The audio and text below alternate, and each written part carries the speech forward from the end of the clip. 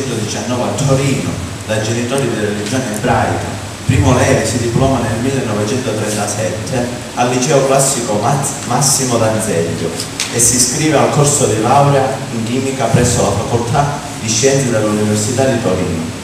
Nel 1938 con le leggi razziali si istituzionalizza la discriminazione contro gli ebrei, cui è vietato l'accesso alla scuola pubblica. Levi, in regola con gli esami, ha notevoli difficoltà nella ricerca di un relatore per la sua tesi.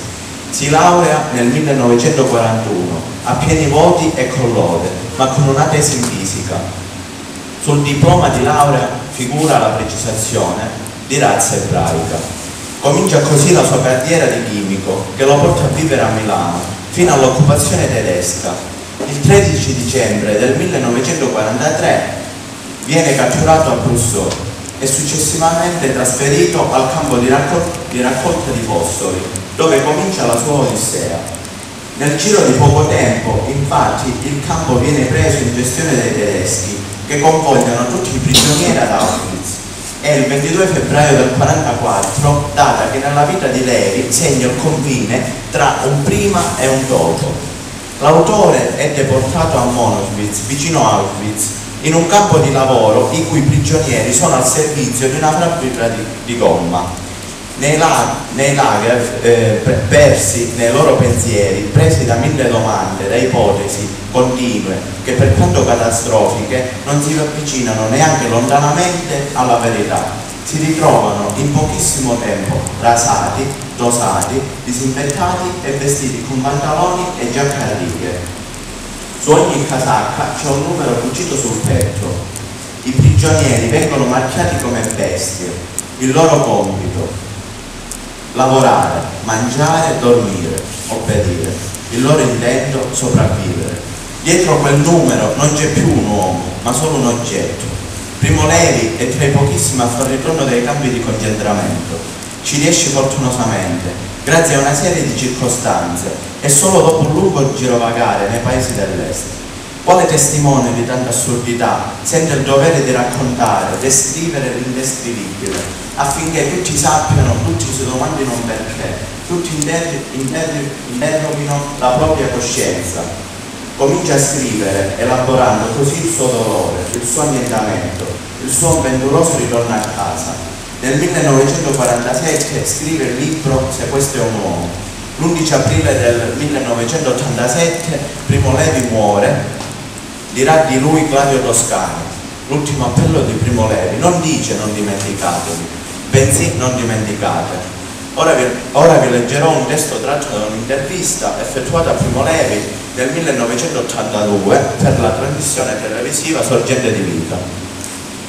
L'annullamento della personalità, il degrado dell'essere umano alla condizione di animale, la privazione della dignità, che cos'è tutto questo se non una morte anticipata, una morte ancora più grave, non fisica, bensì spirituale, tutti nei campi di concentramento, era finalizzata al raggiungimento di, uno, di questo obiettivo, dalla scritta sul cancello d'entrata fino all'orchestra che scandiva le ore di lavoro.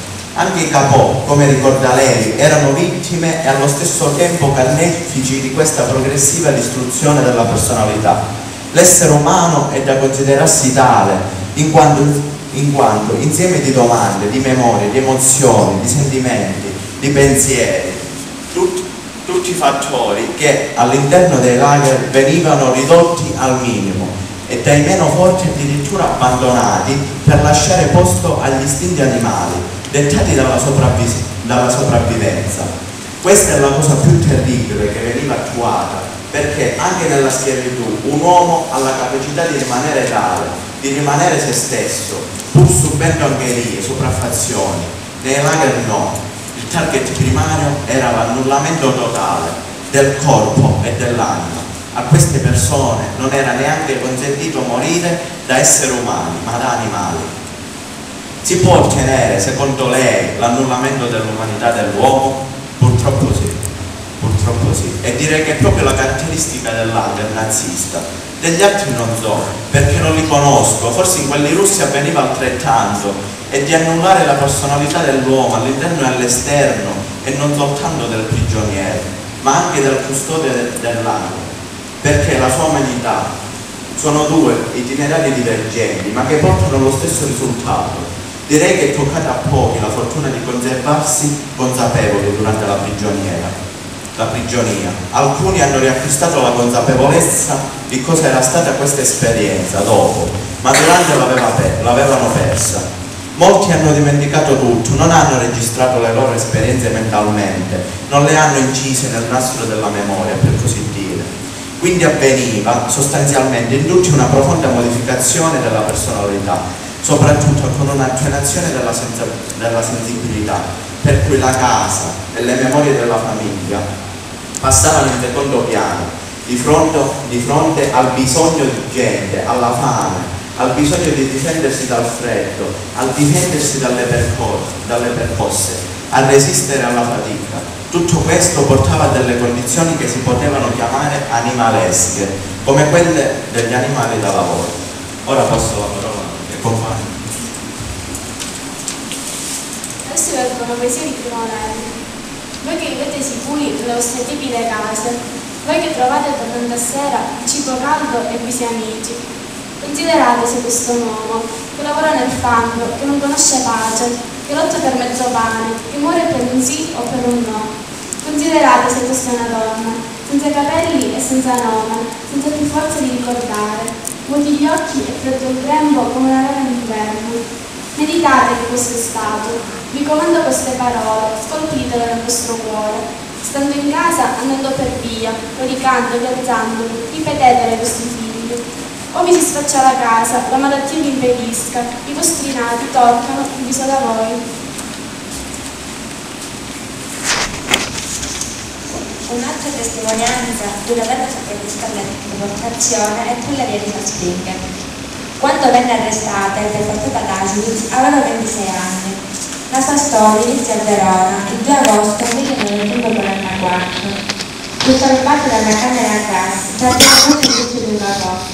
Elisa, successivamente, vive e sperimenta tutto l'orrore del più grande campo di sterminio nazista. Ben presto fu ridotta a una larga umana, umiliata e offesa, anche nel corso dei successivi trasferimenti. Riuscì a tenere vivo nel suo animo il desiderio di sopravvivere alla distruzione la sua forza e una serie di fortunate coincidenze le consentono di tornare tra i vivi. Leggo adesso un passo significativo del suo libro, Il silenzio dei vivi. Alle mie spalle, in fondo al binario, si innalzava la sagoma scura, tetra, di una costruzione, con al centro una torre, l'ingresso di Birkenau.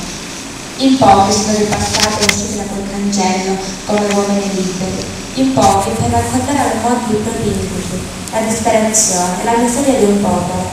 In pochi, soprattutto per raccontare l'odio, la malvagità e la follia di uomo che, accecati dall'ammiraggio della razza pura, hanno ridotto a brandelli la carne e lo spirito, l'uomo e Dio.